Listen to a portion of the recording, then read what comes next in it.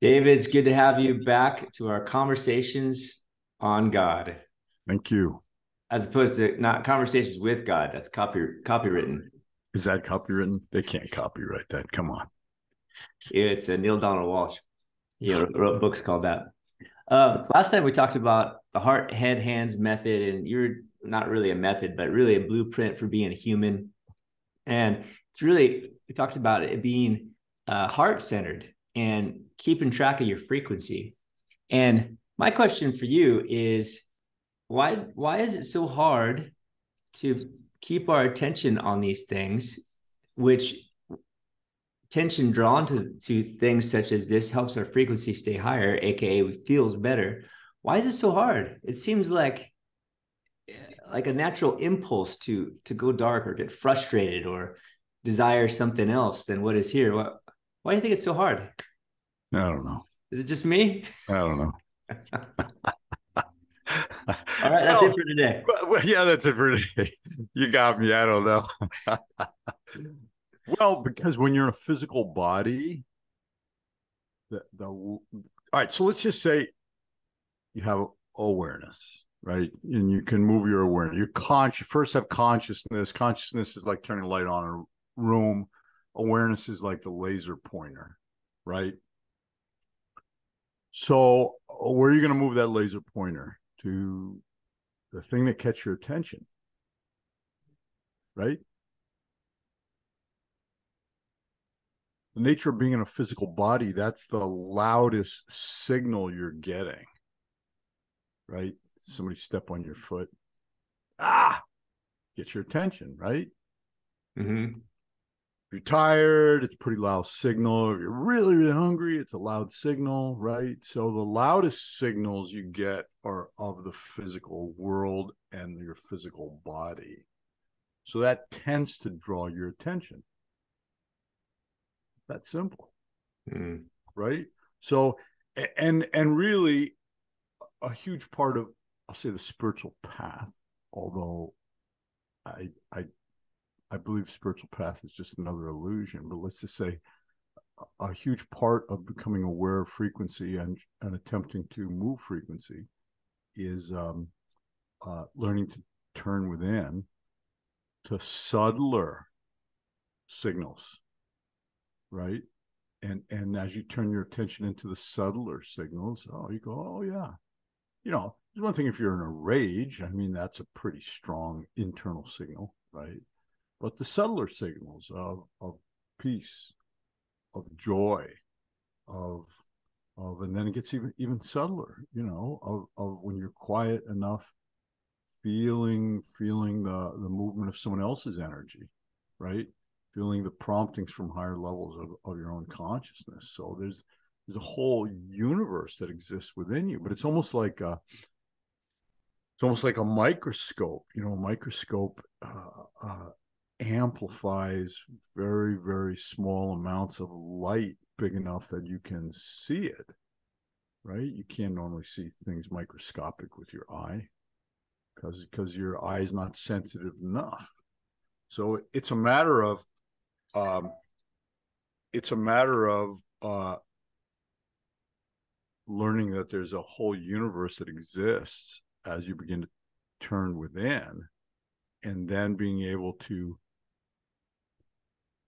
pick up subtler and subtler signals. So you begin to repair, you could say, your microscope. Mm. That at first, all you see is just big objects, right? And then, and then you, as you realize, oh, there's smaller objects, and using your eyes, you begin smaller objects, and then you get a microscope. Somebody say, "Oh, they're smaller than that," and now you get your microscope out, and then microscope. There's different lenses. Well, it used to be right, so finer and fi- more and more powerful lenses to let you see smaller and smaller. So it, it's a lot like that. So the reason it's hard at first is because we're used to really, really loud signals and you have to uh, train yourself to be to start paying attention to subtler signals and then it's got to be important enough to you that you you pay attention to it mm-hmm. right? And then as you do that, let's just say, let's just say in a microscope, oh, you start to see smaller things, and you see uh, things under the microscope. It's like, oh my God, that's beautiful. So now you start getting drawn into looking now at the microscopic world, right? And it's your interest and attraction that now draws you to spend instead of 30 seconds looking at the microscope, maybe you spend a couple hours at the microscope. But as you find a whole nother world that you have interest in, now maybe you become a full-time scientist. All day you're looking at the microscopic world. Mm-hmm. Right. So I mean it's it's the same type of thing. You uh you get drawn into um different different frequencies of consciousness as you begin to feel the joy and the peace of examining them. And then you learn to uh, stay a little quieter to be able to enjoy it right? Which means there's a certain amount of your awareness you have to pull out from the external world that's drawing your attention so you'll find as you begin to uh, move along in this direction, that you start keeping part of your awareness turned inward during some of the day, and then during more of the day, and then finally,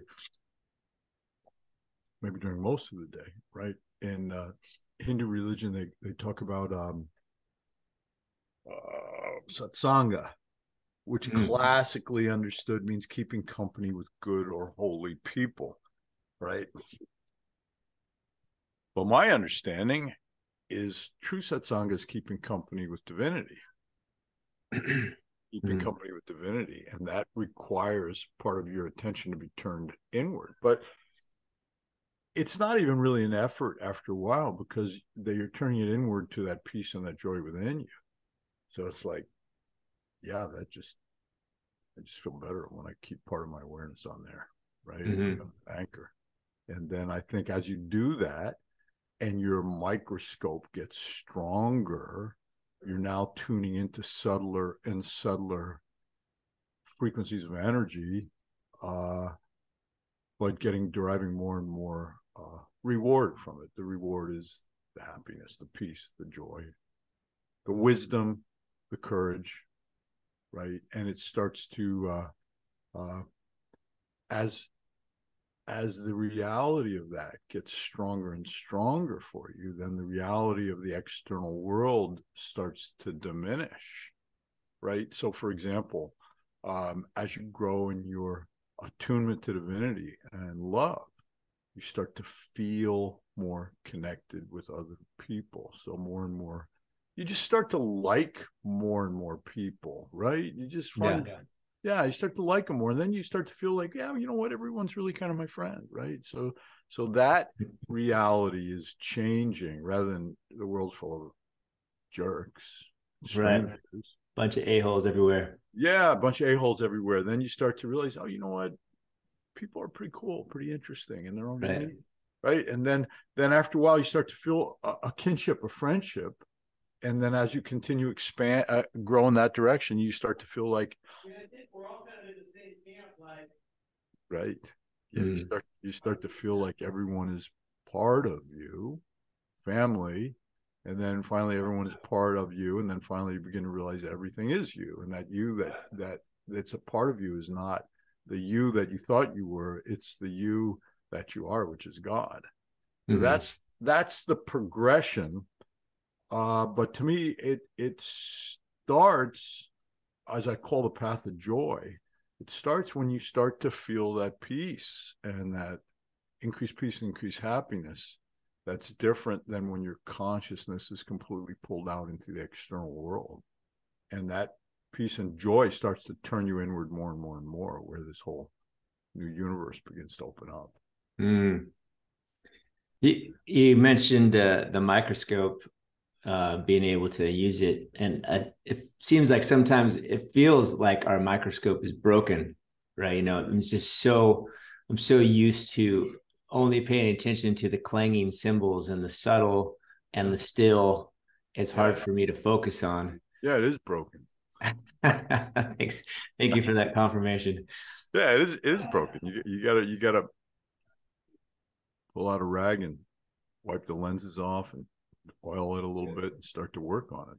Right. Well, well, is the so I've been doing a, this simple thing and uh, of I'll even show you it's written on my board right here. It's uh, it's uh, the the mind thinks, the body feels, the witness watches, the ego steals, I am, and if nothing else, nice. Uh, uh, if nothing else, for what it does for me is is um I'm just watching these things, right? I have these crazy thoughts and I just notice them. I'm like, oh, that's a crazy thought. And for me, it kind of takes the weight off it or the burden or the, even the judgment of my own crazy thought. So I don't like add another crazy thought on top of my crazy thought. And I, I kind of tap into this thing that seems like it's the watcher or the witness or that part of me that is eternal, at least, that isn't hooked by all my thoughts and all my emotions. And is that kind of thing maybe a like a microscope kind of repair using the analogy? Well, it's whatever starts to shift your your attention to higher frequencies. I mean, whatever. It's like my teacher says um, the only mantra he ever gave is "I'm God. I'm no. I'm God. I'm God. I'm no different from God." Right. And then I found David Icke saying the same thing in different language that I thought was great, which is I am infinite consciousness having a human experience. And, and all those are just techniques of shifting your awareness to higher frequencies. And you can tell when you do it because you feel it. You you feel how put it in words kind of like an expansion of consciousness or kind of an unlocking from this this low human body uh, focus right so it's it's like when I take people through the exercise into bliss, have them close their eyes, and I'll start with something like, "Who are you?" Right. So who are you? Go ahead, let's do it now. What's that in the background? Oh, I'm in my office. It's oh, people outside. Okay. Chatting away. Close your eyes and close your eyes. Who are you? Who are you? That is love everywhere. Really think about that. Who are you that is love everywhere? Beyond time and space. Who are you that's love beyond time and space? Who are you that is love? That has always been and will always be.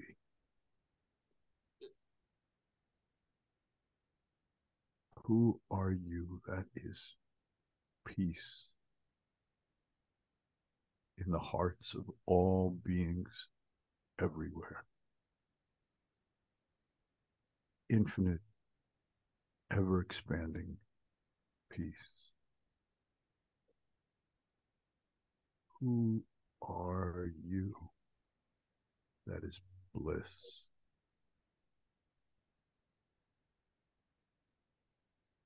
And so you can go ahead and open your eyes. But when I take people in that, what happens is you're, I'm asking questions that your conscious mind can't answer that. Can't answer that. And, if it's trying to answer that, I shift to the next question, to keep it off balance. So what happens? The conscious mind gives up.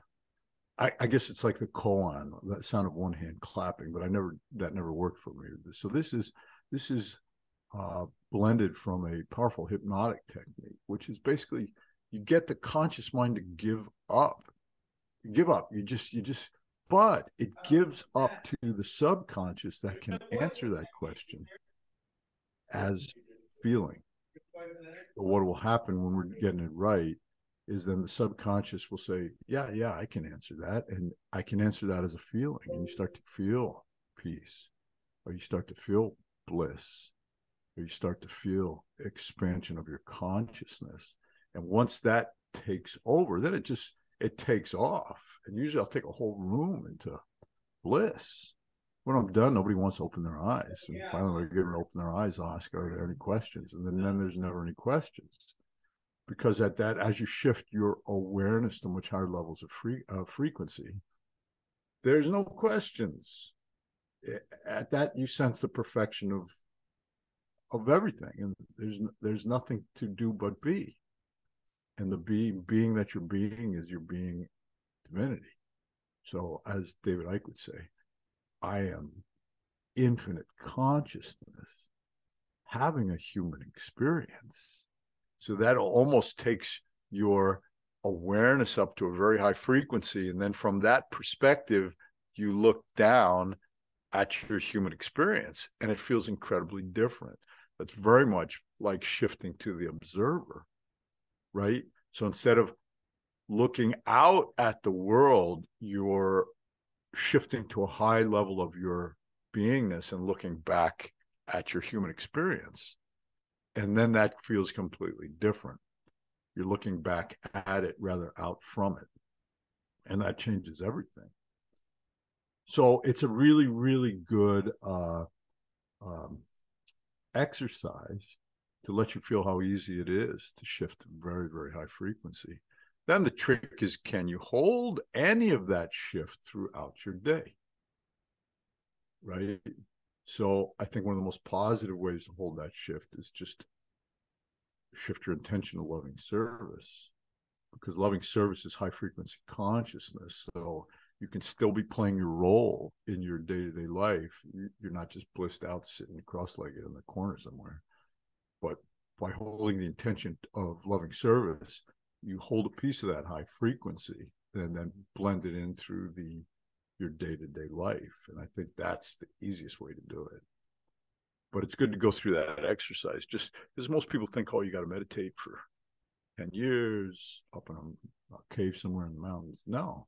In five minutes you can begin to experience a, a, a taste of who you truly are because you are it's not like you have to become that. You already are that. It's just the the the uh, the uh, busyness of the mind that that is putting out so much noise that you're not learning. You're not used to learning how to shift your attention to that aspect of yourself, which can be done in a split second. Once you've tasted it, it's like, oh, that's right there.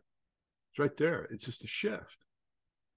That's all. So I mean, it can take you 30 years to learn to shift, or 100 years or a million lifetimes to learn that shift, or you can just get a little help and you do it in five minutes. And it's like, oh, and this is one of the things my teacher would say. He goes, the the tragedy of the human experience is like a uh, man standing in in a river of the purest, cleanest, most delicious water and dying of thirst. so you are bliss itself but yet you're sitting there screaming out to the cosmos you know give me some peace. Give me some help. Uh, but but you are you are it already. You just got to learn that little tiny shift which is once you do it it's like oh well, wasn't hard so then you can now just close your eyes just for a second. Go ahead who are you that is infinite peace everywhere. And just feel that. You just bring it back to your memory, memory. And go ahead and open your eyes. Yeah. So that's all it takes. It's now it's now you oh now you know it's, it's that. Oh, that wasn't hard, right? So now the more you practice just shifting into that and holding on to it and then uh go about your life and life will knock you out of it. But but if you take a moment shift back in then what happens is you get knocked out less and less.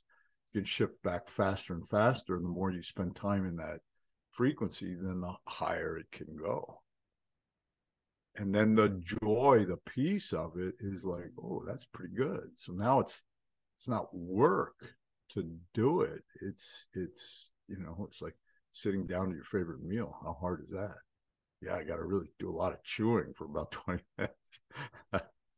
Yeah, yeah, you do. Yeah, but it's it pays off in buckets. So that's it. And but the, the world, the world, because it's so loud to your senses, your physical body, it just draws your attention back outward. Well, that's wonderful. Thank you so much. Uh, we're gonna do a short video today. I got uh, a big event happening over here, so I got to get back to it. But I really appreciate you. Well, I would was... I would tell people, you know, if you went through that with you just there, and you start to feel it, you can then just kind of do that on your own, right? And once you feel that shift into that bliss, then quit asking yourself questions and just be, just enjoy that and ride that as long as you can. And then when you shift out you shift out but just just remember you can pull that up back in a second. So as you go through your day just take a moment when you're not driving right? Just close your eyes and remember what it feels like. Just feel that deep peace bring it back up and then go about your business hold on to it as best you can and and it just gets easier and easier and like i said then you you as you hold more of it then the next time when you go to shift you shift a little higher and as you, it's like climbing a mountain. You know, I mean, if you you're at the base camp, you climb up, you know, 100 feet. If you knock in the platoons and put a little base camp 100 feet up, okay, so go ahead and have your dinner, go to sleep. Next day, okay, climb a little more. Well, you you, you put in the same amount of climbing, but now you're 200 feet in the air. Knock in a base camp, go to sleep, have your meal, right? Uh, next day, climb another 100 feet, right? So each day is just 100 feet the effort's not that much more than but but because you're starting at a higher higher level you're ascending the mountain so this is this is the ladder of consciousness you know the, the more you can just hold a slightly higher frequency towards the end of the day then the next day it's easier to kind of pick that up and take it a little higher.